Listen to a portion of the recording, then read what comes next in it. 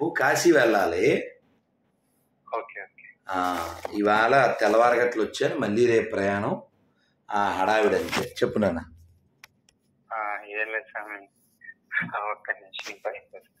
చెప్పు marriage invitation మీకు పంపించాను. మ్యారేజా? మ్యారేజ్ ఇన్విటేషన్ మీకు పంపించాను. ఓకే ఎప్పుడు మీ మ్యారేజ్? వన్ మంత్ అయింది. పెళ్ళి అయిందా అయింది స్వామి. ఓకే. మా ఊరి దగ్గరే. కానీ త్రీ ఫోర్ డేస్ తర్వాత ఒక నిజం తెలిసింది. వినకూడందా? ఏం స్వామి? వినకూడందా? అంటే కొద్దిగా అటువంటిది. సరే చెప్పు నాన్న. అదే త్రీ ఫోర్ డేస్ తర్వాత ఒక భయంకరమైన నిజం తెలిసింది. అమ్మాయి గురించి. అంటే మీరు అర్థం చేసుకోవాలి పెద్దవాళ్ళు. బాబు చాలా వినేస్తూ ఉంటాంగా చాలా మంది సమస్యలు. ఇంకా పెద్దల పంచాయతీ జరిగింది. నాలుగు రోజులకే. కొద్దిగా నాలుగు రోజులకే అంటున్నా. నాలుగు రోజులకి పంచాయతీ జరిగింది. ఇంట్లో వాళ్ళు ఇంకా అదే ఇంకా రుణం ఏదో ఏదో జన్మలో రుణం ఉంటుంది. ఇంకా అందుకే కానీ మనం ఆనందపడాలి. నాలుగు రోజులకే తెలిసిపోయింది గొడవ వెళ్ళిపోయింది కాబట్టి. అది ఎప్పుడో నాలుగేళ్ళకి తెలిసి పిల్లలు పుట్టాక తెలిస్తే దరిద్రంగా ఉంటుంది. అంతే. అంటే నిజాలు ఎట్లా అంటే బయటికి బాగానే ఉంటాం కానీ మనసు లోపల ఇంకా రగులుతూ ఉంటుంది కదా. ఉద్దుతూ అది తగులుతూ ఉంటుంది రగులుతూ ఉంటుంది అప్పుడప్పుడు గుండె పగులుతూ ఉంటుంది. కానీ పాజిటివ్ తీసుకుందాం ఇందులో. మాకు తెలిసిన అబ్బాయి ఒక అబ్బాయి లండన్ వెళ్ళొచ్చాడు అసలు బంగారం అంతే వజ్రం వాడు. వాడు అక్కడి నుంచి నాకు పంచి తీసుకొచ్చాడు లండన్ నుంచి. ఏ చాలా ప్యూర్ హార్ట్ వాళ్ళ ఫ్యామిలీ ఫ్యామిలీ భక్తులు. చాలా వినయము భక్తి కలిగిన వాళ్ళు. పాపం ఆ అబ్బాయికి అన్యాయం జరిగింది. నీకులాగే? సో ఈ అబ్బాయి చాలా భయపడిపోయి వాళ్ళ నాన్నకి ఫోన్ చేస్తే వాళ్ళ నాన్న గబగబా ఆ పెద్దవాళ్ళకి ఫోన్ చేస్తే వాళ్ళే క్షమాపణ చెప్పి మా అమ్మాయిదే తప్పండి అని చెప్పి దాన్ని తీసుకుపోయారు. తర్వాత వేరే అమ్మాయికి పెళ్ళి చేశారు. వాడు చక్కగా ఉన్నాడు. పుట్టిన పిల్లని కూడా తీసుకొచ్చారు టెంపుల్కి వచ్చారు. అమ్మయ్య మొదట్లోనే ఏమి జరగకుండానే మనం బయటపడిపోయాం. ఇదే ఆనందించాలి. నాకు ఇలా జరిగింది అలా జరిగింది. ఏమీ? మనస్సుని బా నువ్వు పాడు చేయకు. గతం కదా నువ్వు బయటపడ్డావా లేదా? బయట అంటే శారీరకంగా అయితే బయటపడ్డాను. చాలు, చాలు. మానసికంగా బయ ఇప్పుడు ఉంటుంది కదా నీ నీ గడ్డి పెట్టేది అందుకే కదయ్యా నీ మనసు ఏదో వాగుద్ది. నువ్వు దానికి రియాక్ట్ అయిపోతావు. ఏం వద్దు. దానికి కూడా నోరు మూసుకో. అమ్మయ్యా బయటపడిపోయాం ఇది లెక్క?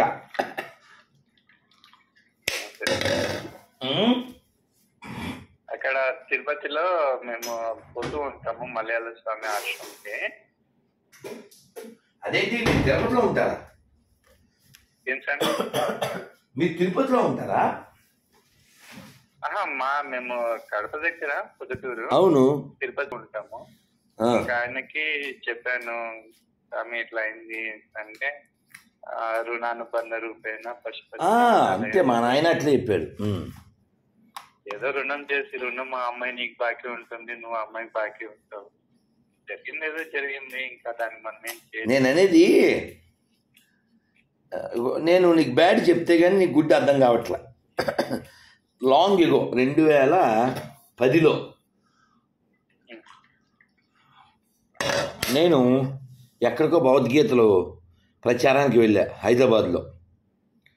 కొంచెం రూరల్ వెళ్ళి బండి మీద వస్తుంటే వాన వచ్చేసింది వాన వచ్చేస్తే మేము ఏదో పక్కన ఆపుకుని అలా మాట్లాడుకుంటూ ఇదే హైదరాబాద్లో ఇలాగే హైవేలో ఒక అమ్మాయి భర్తను చంపేశారు అని అనుకున్నాం. ఊరికే దాని గురించి అయ్యో పాపం. ఆ అబ్బాయి అమ్మాయి హైదరాబాద్ వాళ్ళు అతను ప్రతి వారం వచ్చేవాడు బెంగళూరు నుంచి. అని అలా మాట్లాడు పాప అబ్బాయిని ఇట్లా అయిపోయింది అది అనుకున్నాం. కానీ నా ముందు బండి తోలిన అతను చెప్పాడు స్వామి నువ్వు ఇలా అమాయకం ఉంటే ఎట్లా? అబ్బాయి చచ్చిపోలేదా? ఆ అబ్బాయిని ఈ అమ్మాయి చంపించింది అన్నారు. నాకు ఒక్కసారి బాబోయ్ అనిపించింది. ఇంతకీ ఈ అమ్మాయి మా పెద్దవాళ్ళు లీగల్ బాండ్స్ అన్ని రాపించుకున్నారు నేను అనేది నా- నాన్న నేను అనేది ఈ ఈ అమ్మాయి విషయం అతను అడిగితే అతను చెప్పాడు. ఈ ఈ అమ్మాయి మేడ మీద ఉండేది ఇంటి ముందు ఎవడో వెల్డింగ్ పనివాడో ఎవడో ఉండేవాడు వాడితో లవ్లో పడింది ఇంట్లో వాళ్ళు చెప్పారని తప్పకే తను పెళ్ళి చేసుకుంది. ఇతను అడ్డం కాబట్టి ఆ అమ్మాయి ప్రియుడు కలిసి ఇతను చంపేశారు. కాబట్టి ఎప్పుడైనా గుర్తుపెట్టుకో మనకి దరిద్రం వదిలిపోయింది ఆనందపడిపోవాలి. మనకి దరిద్రం వదిలిపోయింది. ఇప్పుడు నీకు సరే ఇంకోలా చెప్తాను రాత్రి రైల్లో వచ్చానా? రాత్రి రైల్లో వచ్చాను. వాళ్ళు వద్దు వద్దన్నా దాన్ని ఏమంటారు? ఫస్ట్ క్లాస్ బుక్ చేశారు. కూపే కదా రూమ్లో ఉంటుంది కదా. నా దరిద్రం మేమిద్దరం ఇంకో ఇద్దరు ఉన్నారు. అందులో ఒకడు తాగుబోతు.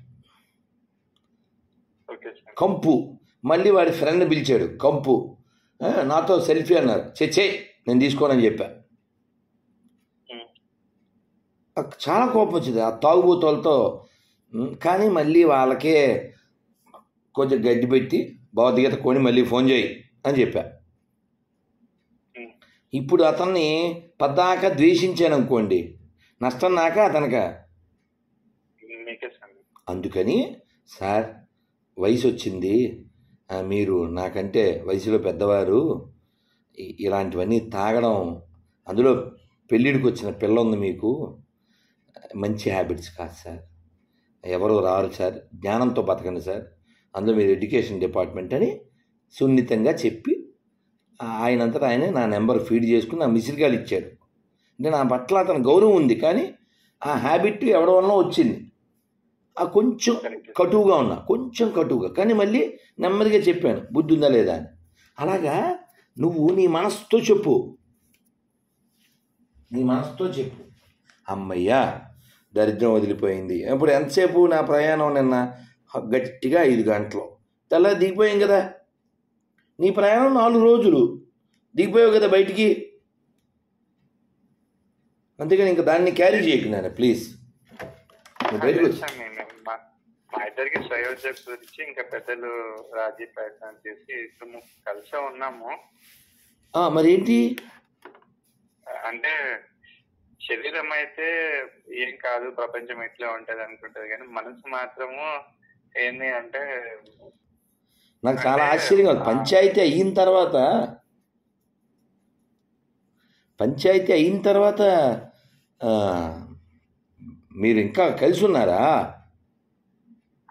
ఇట్లా మాకు మా- మమ్మల్ని మోసం చేసి పెళ్ళి చేశారు అది ఇది అనేసి మేము అడిగినాము.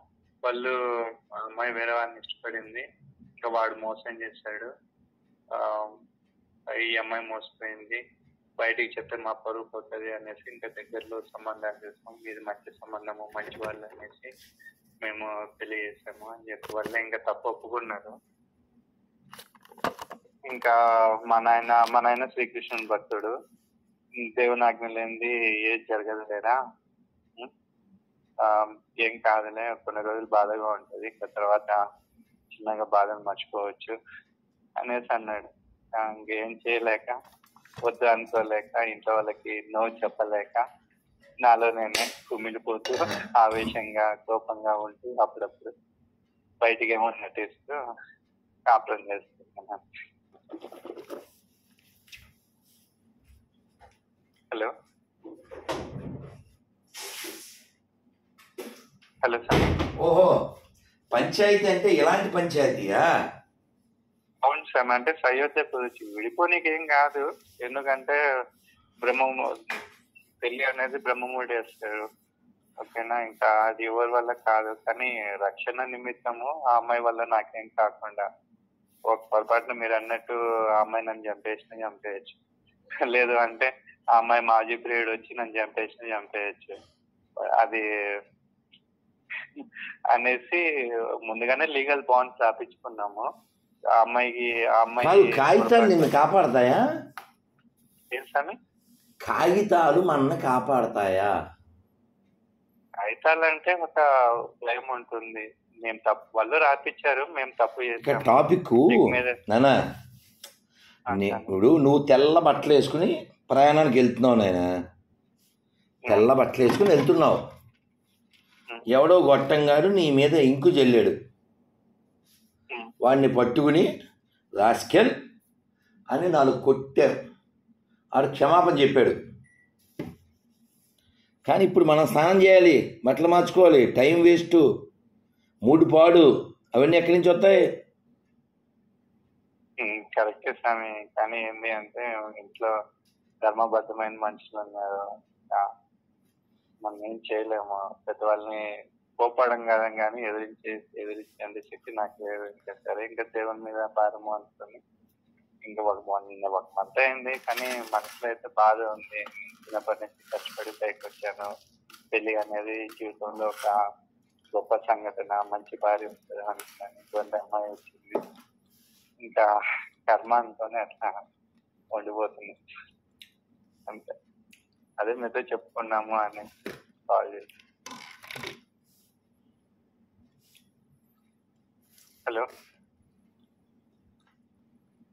నేను ఏం చెప్పాలి అని ఆలోచిస్తున్నా. అంటే నేను వచ్చేసి ఇంకా ఈ అమ్మాయి వల్ల నాకే మంచి జరిగిందిలే. దేవునికి దగ్గరగా ఉండొచ్చు. అంటే నాకు ఇప్పుడు ప్రస్తుతానికి వర్క్ ఫ్రమ్ హోమ్. స్వామి వర్క్ ఫ్రమ్ ఈఎంఐ బ్యాంక్లో చేస్తుంది. నేను వర్క్ ఫ్రమ్ హోమ్ ప్రస్తుతానికి ఎంఐ దగ్గరే ఉన్నాను. ఇంకా ఇక్కడ నుంచి పెనుకొండ శివాలయం ఉంది అక్కడ శ్రీకైలాసము. తిరుమల తిరుపతి దగ్గర అక్కడ ఇట్లా కొన్ని పుణ్యక్షేత్రాలలో ఆల్రెడీ మాట్లాడేసి పెట్టుకున్నాను. చెప్పాను నా మనసు బాగాలేనప్పుడు నేను ఏదైనా ఆశ్రమం పోయేసి కొన్ని రోజులు ఉండేసి గడిపేసి వస్తాను. నువ్వైతే ఇబ్బంది నువ్వైతే బెంగ పెట్టుకోకు. నాకు ప్రకృతితో మంచి అను అనుబంధం ఉంది. నేను అది చెడగొట్టుకోదలుచుకోలేదు. నీ వల్ల నాకేం నష్టం జరగలేదు. నీ వల్ల నాకు ఇంకా మంచి జరిగింది. నాకు నేను ఇంకా దేవునికి దగ్గర అయ్యాను సో నాకు నీ మీద ఏం కోపం ఏం లేదు. కానీ నన్ను నా దేవుని మాత్రం దూరం చేయాలని మాత్రము అనుకోకుండా అది మాత్రం సహించలేనని చెప్పాను. ఉమ్,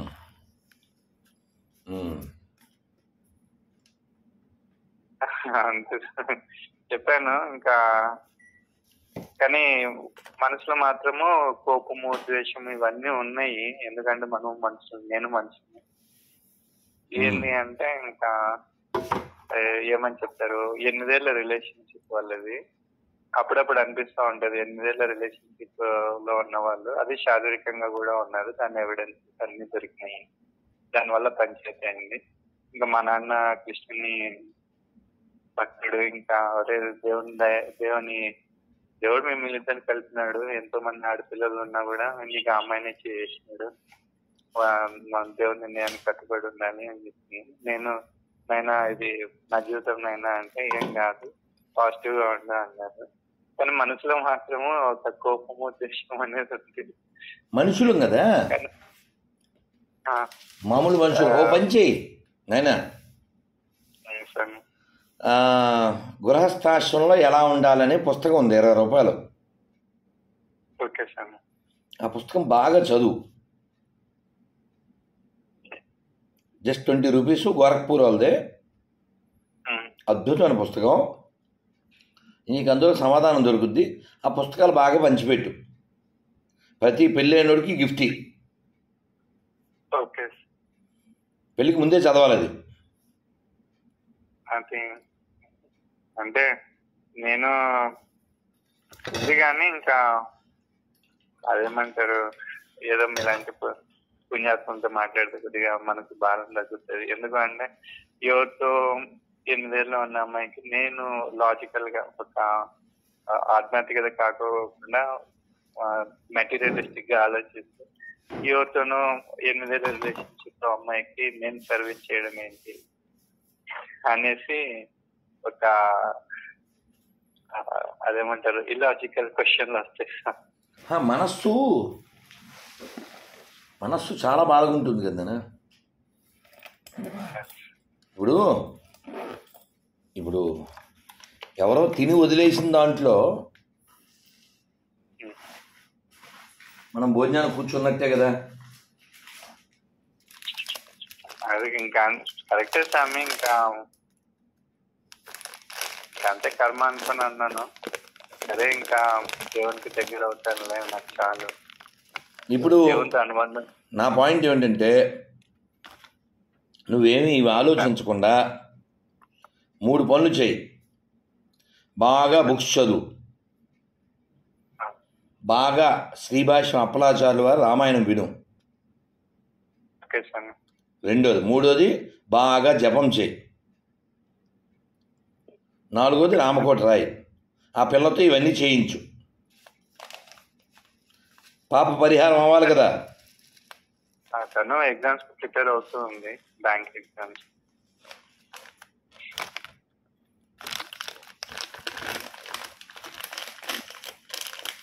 అంటే అప్పుడప్పుడు అనిపిస్తుంది సార్ మా నాన్న చేసిన అప్పులు కట్టనీకి తొమ్మిదేళ్ళు పట్టింది.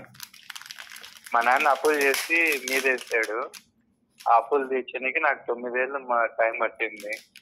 ఆ అప్పులు తీరంగానే ఇంకొక ప్రాబ్లం స్టార్ట్ అయింది. Why why God why me అనుకొని అప్పుడప్పుడు ఏడు వస్తుంది వద్దు ప్లీజ్ చెప్పండి. నువ్వు ఏడవడానికి పుట్టలేదు గుర్తుపెట్టుకో. అంటే ఇంకా వై గాడ్ అన్నప్పుడే ఇంకా దేవునికి దగ్గర అవుతాం కదా సార్. అది మంచిదే కానీ బీ పాజిటివ్. Be positive. నేను చెప్పిన నాలుగు పనులు చేయి. అది తప్పకుండా చేస్తాను. ఇంకా ఎలాగో వర్క్ ఫ్రమ్ హోమ్ కాబట్టి కొద్దిగా పుణ్యక్షేత్రాలు మరి ఇట్లా తిరుగుతూ ఉంటాను. నేను అమ్మాయికి నేను నీకు ఎగ్జామ్స్ ఉన్నాయి. నెక్స్ట్ తర్వాత ఆషాఢ మాసం ఉంది. నాకు నేచర్తో స్పెండ్ చేయాలని ఉంది. నేను వెళ్తాను. ఏదన్నా గుళ్ళో నేనైతే మాట ఇస్తాను ఈ అమ్మాయిల వెంట పన్ను ఎటువంటి తావిడికి వీటికి నేను బానిసగాను. ఎటువంటి చెడ్డ పనులు అయితే నేను చేయను. కానీ నాకు నేచర్తో టైం స్పెండ్ చేయాలి. నాకు గుళ్ళు గోపురాలు తిరగడం అంటే ఇష్టము. ప్రతి సంవత్సరం నేను అయ్యప్ప వేస్తా ఉంటుంది నాకు ఇంకంతే. నేను ఏం నేనేం అనలేను. ఏదైనా కోపంలో ఒక మాట అనడం తప్పనిచ్చి. కొట్టడం తిట్టడం అయితే నా వల్ల కాదు. ఎప్పుడో కోపం వచ్చినప్పుడు తప్పిపోయిన ఒక మాట అనేస్తాను తర్వాత నేను బాధపడతాను. నన్ను దేవుని మాత్రం దూరం అయితే చేయక అని చెప్తాను నాన్న ప్లీజ్ నువ్వు మనసును ప్రశాంతంగా పెట్టుకో.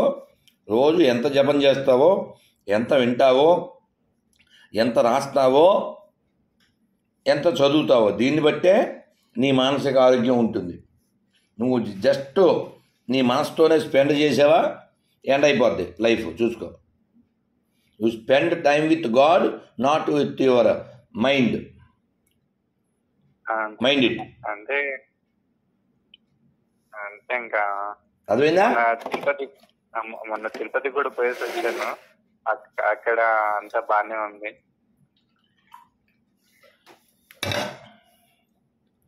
నేను నిర్లక్ష్యం వహించాను